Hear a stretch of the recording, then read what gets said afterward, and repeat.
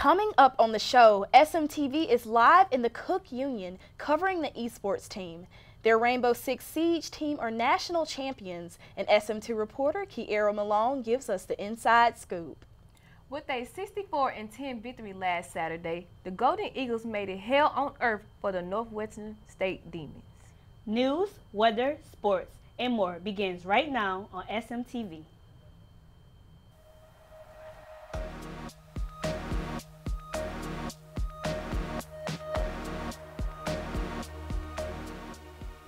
From the Chuck Scarborough Television Studio on the campus of the University of Southern Mississippi, this is SMTV News. News you can use. Thank you for tuning into SMTV. I'm Kyra Lampley. And I'm Nathan Lee. On Monday, esports awarded Rainbow Six Siege captain Joshua Mackey with the national championship trophy. Mackey and his team won the national Rainbow Six Siege Championship back in the spring semester this year. Reporting live in the esports arena, we have SM2 reporter Kiera Malone on the scene. Let's see what's going on down there. I'm here at the Eagle Esports Arena, home to the Rainbow Six Siege champions. As you can see behind me, there are some players playing Valorant, Overwatch, Rocket League, and Super Smash Bros. With all of this hard work, it is no wonder how they became the national champions of the Rainbow Six Siege series. As competitive gaming is becoming more and more of the trend, the Eagle esports players are working very hard this year. Each team is said to have practiced about three to four hours every day of the week in order to become the next national champions. Last spring, the Rainbow Six Siege team won the national championship with Joshua Mackey leading the team. Not only did they win, but on Monday they were awarded with the Rainbow Six Siege Championship trophy. I talked to Joshua Mackey about the rigorous schedule on preparing for the tournament. To balance, you know, practice and also finals too. But I mean, that time definitely had to sacrifice other things like hanging out with friends, you know, just taking a day to nap. Like we, it was definitely a lot of hard work that had to go into preparing for this national championship. As the arena and their fans' excitement fills the air, the esports players are even more motivated and dedicated to perfecting their gaming skills to keep their title as national champions.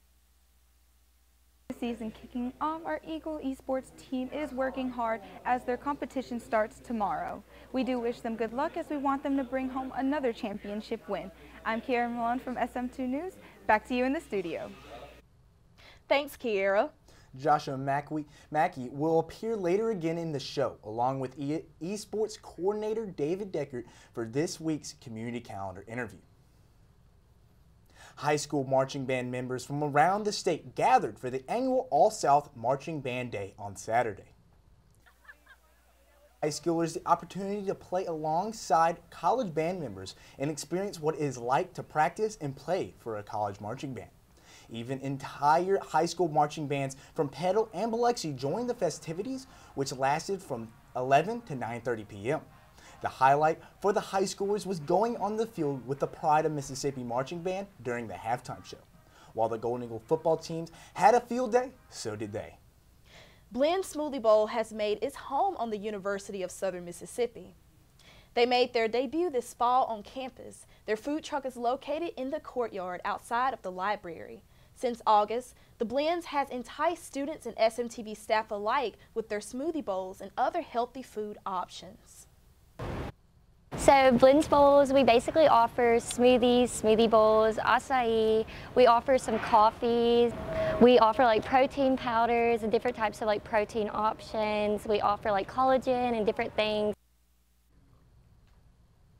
Blends has been in business for over two years and has many locations in the South and other universities.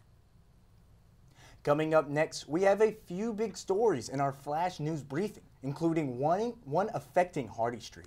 And there is a lot going on in USM athletics. Maya Evans has everything you need to know in this week's installment of the SMTV Sports Recap. But before then, let's take a quick look at the weather.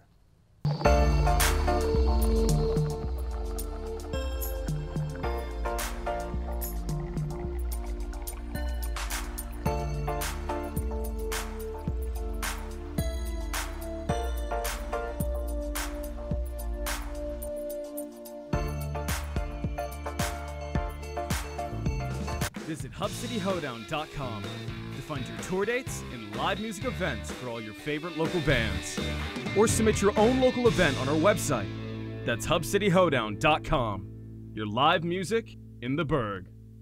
Check out our newest design for our Adcock Pool and Spa website. Explore the new look and feel. Build your perfect poolscape in the comfort of your home with our in-ground pool wish list. Choose from different features including pool type, shape, depth, and exquisite style with our outdoor landscape options. With Adcock Pool and Spa, you're in control. Visit us at adcockpoolandspa.com or at any of our three locations.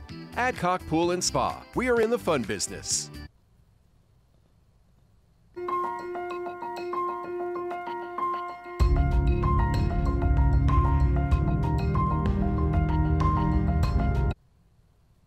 There are a couple of things in and outside of Hattiesburg that you need to know about here.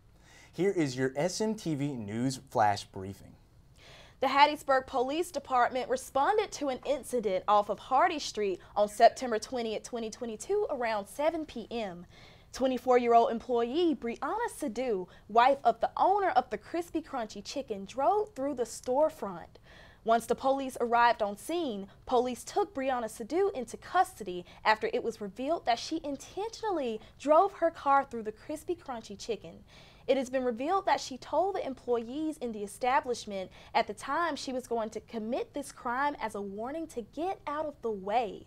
Brianna was charged with a felony with malicious mischief, according to the Hattiesburg Police Department, and was booked into the custody in the Forrest County Adult Detention Center. Thankfully, there were no injuries reported. The University of Southern Mississippi paid $1.75 million to get out of Conference USA. This is according to documents signed by the president of USM, Marshall University, and Old Dominion. Southern Miss Student Media and other news outlets requested documents containing this and other information over six to the confidential settlement agreement and mutual release statements today. This caps off a continuous yet ambiguous ordeal between CUSA and these three universities. More information, along with the 13-page document, is available for viewing on the sm2media.com. The death toll across Iran following protests have risen to six.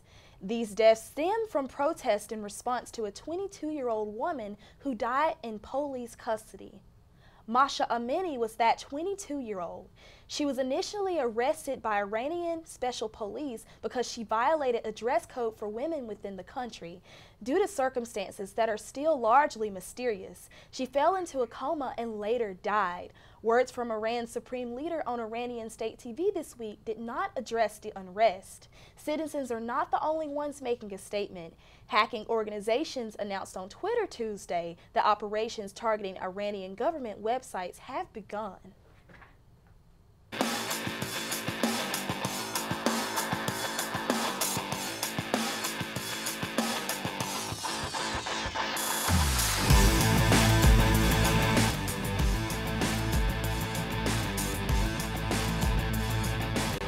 A lot of big time sports news happening over the week.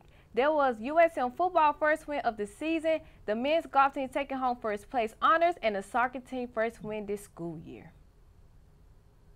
Golden Eagles football get the job done by blowing out the Demons 64 to 10. Let's send it to Austin Lindsay. Southern Miss got out on the right track this week with a dominating victory against Northwestern State 64 to 10. Defensively, we played lights out. Offensively, we had a really explosive day 588 yards on 71 snaps where we played everybody on our team. Uh, you know, that was a game we were supposed to win. We spent all week concentrating on eliminating mistakes. Coming into the week, Zach Wilcke will be named the starter for the Golden Eagles at quarterback. After a 6-0 lead, quarterback Ty Keyes would come in for Wilcke and explode the offense with a 40-yard touchdown to Jakarius Caston, who would tiptoe down the sideline in the end zone, making it 13-0 Golden Eagles in the first. It felt different. Like the first touchdown was like I thought I stepped out of bounds, so I was just trying to jog down the sideline. I thought I was out, but I kept going. And it was like the crowd just like the crowd told me, "See, I was still in." After a scoop and score by the Golden Eagles at 20 to 0, the Golden Eagles will tack on two more touchdowns and close out on a 89 yard reception by Jalen May from Ty Keyes on a slant route to make it 41 to 0 at half. And that will pretty much do it for the game. Since I got hurt from Liberty, it gave me a lot of confidence. Just get out there and play my game, be myself, and just relax and calm down. It was a good step in the right direction of doing what we're supposed to do. So when we play a great opponent next week like Tulane, we know we can do that. And if it's close at the end, we've done it before. You know what I mean? So there's a, a little more confidence there. Defensively to start the game, the Golden Eagles forced seven straight three and outs, allowed 16 rushing, two takeaways, and four sacks. Punter Mason Hunt was announced as one of Ray's eight for the Ray Guy Award. His performance was definitely noticed. He finished the day against the Demons with a 44.3 yard per punt average on the four punts and two inside the 10 yard line. The Golden Eagles now have a road test in NOLA against Tulane Waves at 6 p.m. Also, Zach Wilcke is the starting quarterback for the third time. The Southern Miss men's golf team was able to take home the team championship at the 2022 Jim Rivers Intercollegiate. Pat Radanayanan stole the show as posted as final round of 70 and hit a tournament winning putt to capture individual medalist honor the Jim Rivers Intercollegiate. The Golden Eagles golf team gets started again on September 26 through 27 at the Old Town Club Interlegion hosted by Wake Forest. Soccer Golden Eagles won their first game in the conference beating Marshall 3 1. Ryan Smith got the, got the action going with a score just halfway through the first period. It would not be until late in the second period when the Golden Eagles would score two goals, assured their win over Marshall. Esmeralda Ferreira would against on the two goals of the match, enough to earn herself Sunbelt Offensive Player of the Week. The Golden Eagles head to face Louisiana Monroe on September 22nd at 7 p.m. Now it's time to announce the 4th Street Player of the Week, who is Jakarius Caston. Caston finished the day with 94 receiving yards on six receptions with two touchdowns, which was enough to make him the 4th Street Player of the Week. Caston fellow receiver Jalen Mays received an 89-yard touchdown, which is the week's play of the week. He made his first collegiate catch that led to a touchdown. If you want a more in-depth look into Southern Miss sports, Listen or watch the 4th Street Sports Show 88.5 FM or the Southern Miss Student Media YouTube channel. This has been SMTV Sports Recap. Back to you.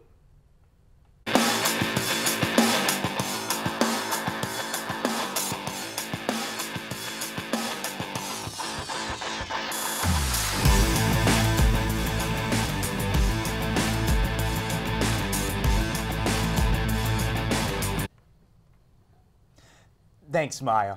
Coming up next, a student is doing what she can to inform the university community about seizures.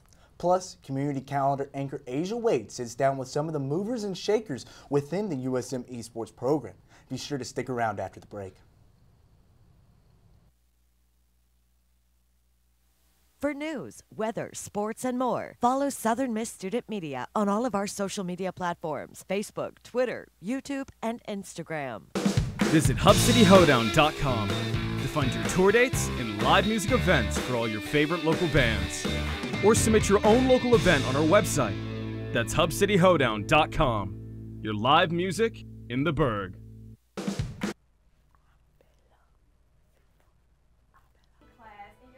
Sitting next to you has a seizure. Well, you know what to do. One student on campus is doing what she can to make sure your answer to that question is yes. SM2 reporter Garrett Grove shows how she creatively informs others about seizures. Kayla Myers is a regular college student. The junior special education major stays occupied with classes and college life. She also stays busy informing others about seizures. She does it through her website, which initially began as a class assignment. And I chose seizures because you never know who may have a seizure or a seizure condition. She discusses in detail her journey of dealing with seizures. She also provides a plethora of information about the condition. It includes do's and don'ts of first aid measures, types of seizures one can have, and more. For those who learn about these things from Myers' website, it may come in handy. However, lack of awareness is still a problem. Last semester, I had a seizure on campus, and didn't nobody know what to do. And I was seizing at least five minutes. No one knew what to do when Myers' seizure happened. However, this website has made it into the curriculum of some professors' classes at USM. This seeks to ensure that what happened last semester to Myers doesn't happen again. Garrett Grove, SM2 News. You can find out more information about seizures in Myers' personal story on www.kahlakakes, spelled K-A-H-L-A-K-A-K-E-S dot wixsite dot com. Now we go to Asia Wade for the community calendar.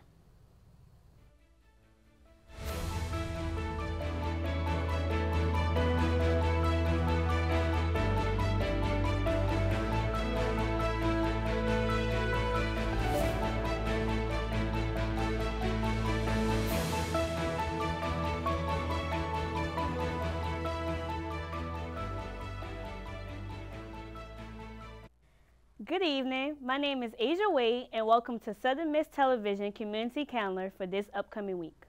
Join IME as they celebrate Hispanic Heritage Month. Kicking off the celebration, Abelar, which will be held in the Campus Recreation Center 20, September 27th for 6 p.m. Another event IUME will be showcasing for Hispanic Heritage Month is Sinfonia that will take place September 29th in Benedict Auditorium for 7.30 p.m. SMAC will, SMAC will be hosting an indoor laser tag September 30th from 5 to 9 p.m. at Trent Lott National Center Room 103 A through, 3, A, A through D. Mark your calendars for the USM Marketing and Engagement as Student Organization. This is a leadership workshop that will be held September 27, 1 to 2 p.m. in Union Room C.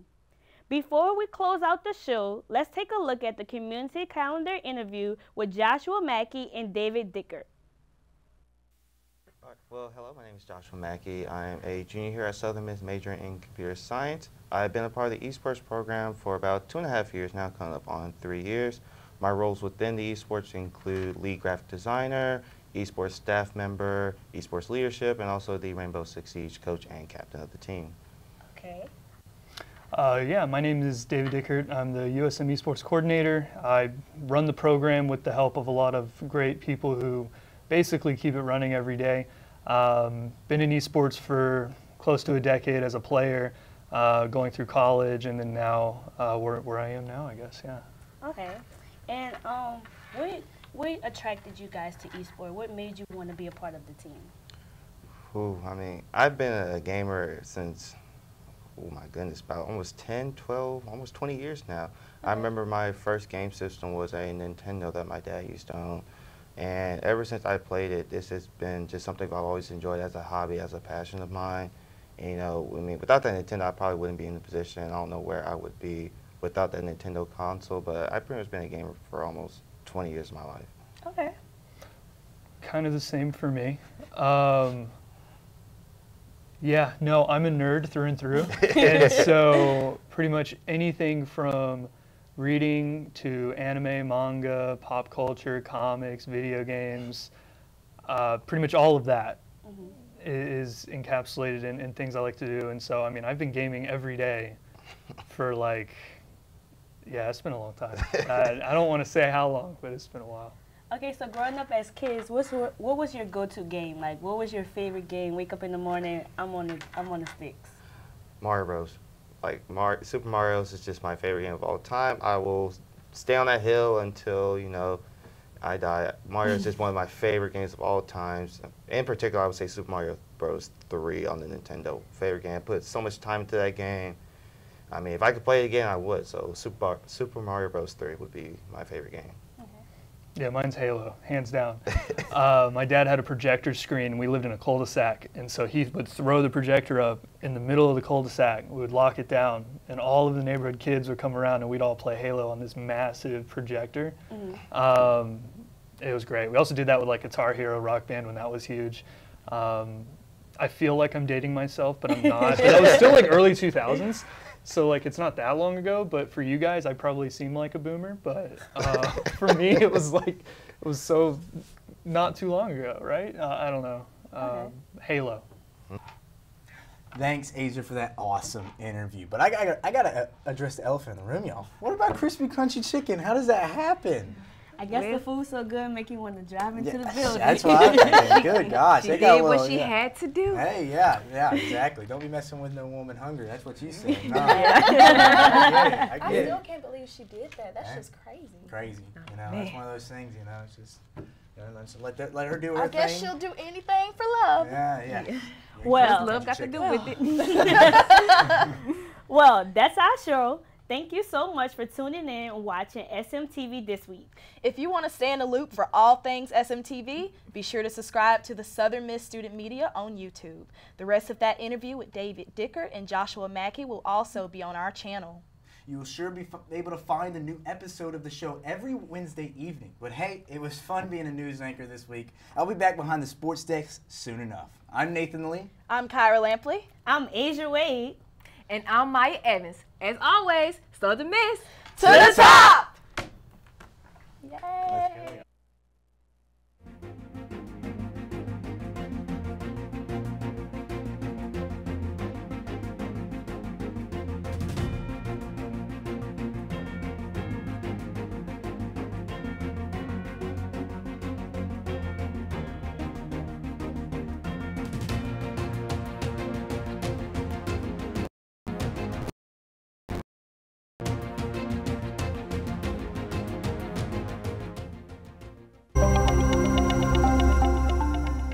The latest SMTV News episode? Find us and subscribe to our YouTube channel at Southern Miss Student Media. Listen to Southern Miss today, Monday through Thursday on WUSM. Get all of your local, regional, and national news, weather, sports, and more on Southern Miss Today. News you can use. If you would like to advertise with Southern Miss Student Media, give us a call today at 601 266 4258 or reach out to Justin Martin at wilbur.martin at usm.edu. Visit HubCityHoedown.com to find your tour dates and live music events for all your favorite local bands. Or submit your own local event on our website. That's HubCityHoedown.com. Your live music in the Burg.